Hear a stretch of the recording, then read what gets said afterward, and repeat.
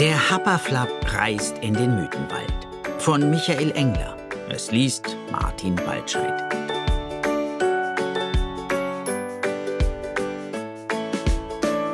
Happerflapps leben seit ungefähr vier Millionen Jahren, drei Monaten und 17 Tagen unentdeckt auf einem sehr, sehr hohen Berg. Man kann sie auch gar nicht entdecken, denn der Berg ist wirklich sehr, sehr hoch und die Bergspitze meist von Wolken verhüllt. Der Wald am Fuß des sehr, sehr hohen Berges ist so dicht belaubt, dass man den Berg von dort aus fast nicht sehen kann. Außerdem lebt in dem Wald niemand, der sich dafür interessiert, was über ihn geschieht. Im Herbst, wenn die Bäume ihr Laub verlieren und man die Happerflaps sehen könnte, fliegen sie früh genug weg. Sie machen sich auf eine lange Reise in den Osten. Dort verstecken sie sich auf einem noch viel höheren Berg, der von noch viel mehr Wolken eingehüllt ist. Im Frühling kehren sie zurück und legen Eier, aus denen kleine Happerflaps schlüpfen. Wenn diese groß genug sind, fliegen auch sie im Herbst in den Osten und im Frühjahr zurück in den Westen. Wenn die Kleinen allerdings am ersten Herbsttag nicht fliegen können, lässt man sie allein zurück. Denn dass die Großen auf die Kleinen Rücksicht nehmen, kommt für Happerflaps nicht in Frage. Die Flügel des kleinen Happerflaps waren eigentlich groß genug. Aber fliegen konnte er damit noch nicht. So sehr er sich auch bemühte, es wollte ihm einfach nicht gelingen. Trotzdem übte er fleißig jeden Tag, bis die Sonne unterging. Denn er wusste, dass die Zeit knapp wurde. Als der kleine Happerflapp an diesem Morgen erwachte, fand er sich allein auf dem sehr, sehr hohen Berg. Er suchte und rief, doch die anderen gaben kein Lebenszeichen von sich. Da fiel ihm ein, dass heute der Herbst begann. Waren die großen Happerflaps etwa ohne ihn in den Osten geflogen? Das konnte er nicht glauben. Also wartete er den ganzen Vormittag. Er wartete den ganzen Nachmittag. Er wartete sogar noch den ganzen Mittwoch, aber die anderen Happerflaps kehrten nicht zurück. Am Donnerstag wusste er Bescheid.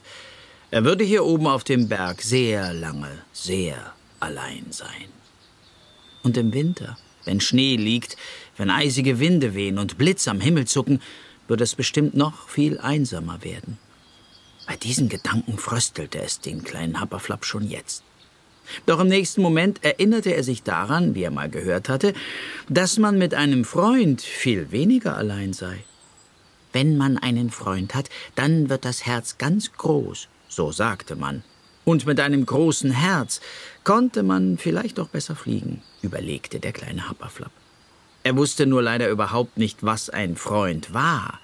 Wie sah er aus, so ein Freund? Wie roch er? Wie lebte er? Was aß er? Und die Frage aller Fragen, wo fand man so einen Freund? Während er über diese Fragen nachdachte, saß er auf dem höchsten Felsen und sah hinab ins Tal. Heute verdeckt nur wenige Wolken die Sicht. Tief unten erstreckte sich der riesige Wald so weit in die Ferne, wie man überhaupt gucken konnte. Der Wald ist so groß. Vielleicht lebt darin sogar ein Freund. Kann ja sein, dachte der kleine Happerflapp. Und bevor ich hier oben allein versaure, äh, kann ich genauso gut mal runterklettern und nachschauen, ob ich da unten einen finde. Für einen Happerflapp war das ein sehr mutiger Gedanke. Denn noch nie hatte ein Happerflapp den Berg auf diesem Weg verlassen. Die Großen behaupteten nämlich, dass Happerflapps nicht klettern könnten. Dabei hatten sie doch nur Angst, es zu versuchen. Tatsächlich war der Abstieg für den kleinen Happerflapp sehr schwer und gefährlich und dauerte fast den ganzen Tag. Er musste aufpassen, dass er sich nicht an den scharfen Felskanten schnitt oder auf den lockeren Steinen ausrutschte. Als er zum ersten Mal in seinem Leben seine Füße auf einen Waldboden setzte, stand die Sonne bereits tief am Himmel. Der Wald wirkte unheimlich, denn der kleine Happerflapp kannte ja nur Himmel, Felsen und unendliche Stille. Außerdem konnte er dort oben bei gutem Wetter fast bis ans Ende der Welt sehen. Hier unten konnte er nur bis zum nächsten Baum gucken. Oder bis zum nächsten Gebüsch. Und das war nicht weit. Überall stand etwas im Weg. Büsche, Sträucher, Farnkraut, kleine Bäume, große Bäume. Alles war grün und weich und voll merkwürdiger Geräusche. Es zwitscherte und knarzte und knackte. Da, in diesem Gebüsch, war ein besonders unheimliches Geräusch. Beinahe so, als würde jemand versuchen, einen Baum umzustoßen. Hallo? rief der kleine Happerflapp. Niemand antwortete. Dafür wurde das unheimliche Geräusch noch lauter. Beinahe so, als würde jemand versuchen, zwei Bäume umzustoßen. Der kleine Happerflapp ging ein paar Schritte zurück und rief nochmal. Wieder antwortete niemand. Da nahm er einen Stock und warf ihn in die Richtung, aus der das Geräusch kam. Er wollte nämlich endlich wissen, was solchen Lärm machte. Au! Rief etwas und stürzte aus dem Gebüsch. Es war groß und braun und sah gefährlich aus, mit seinen kleinen Augen und der großen Schnauze. Friss mich nicht, flehte der kleine Happerflapp. Denn davor hatte er am meisten Angst. Wahrscheinlich hat jeder am meisten Angst davor, von einem großen braunen Ding mit einem riesigen Maul gefressen zu werden. Warum sollte ich dich fressen? fragte das große braune Ding. Du siehst hungrig aus. Ja, das ist wahr, aber ich esse fast nur Honig, sagte es. Nach einigem Nachdenken fügte es noch hinzu. Oder Gemüse und äh, Nüsse, Fische und Spinat und Kirschen und Pilze und Birnen und Kürbis auch, aber, aber, aber am liebsten Honig. Äh, den wollte ich gerade sammeln. Aber da ist ein Stock vom Himmel genau auf meinen Fuß gefallen. Und der tut jetzt ganz schön weh. Das war ich.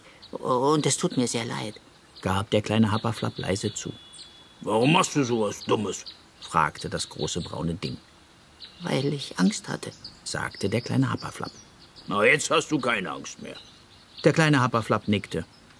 Aber mir tut jetzt der Fuß weh. Ich, ähm, äh, ich möchte das gerne wieder gut machen, sagte der kleine Happerflapp. Setz dich einfach nur hin. Ich suche etwas zum Verbinden. Ich bin ein Bär und heiße Tatz. Und was bist du? Fragte Tatz, während der kleine Happerflapp nach Zweigen, Gras und Rinde suchte. Ich bin ein Happerflapp und äh, Happerflapps haben keine Namen, antwortete der kleine Happerflapp. Tatz fand es sehr merkwürdig und gar nicht richtig, dass jemand, der so nett war, keinen Namen hatte. Deshalb entschied er, dem kleinen Happerflapp einen Namen zu geben. Und zwar auf der Stelle. Ich nenne dich äh, Flapp. Was hältst du davon?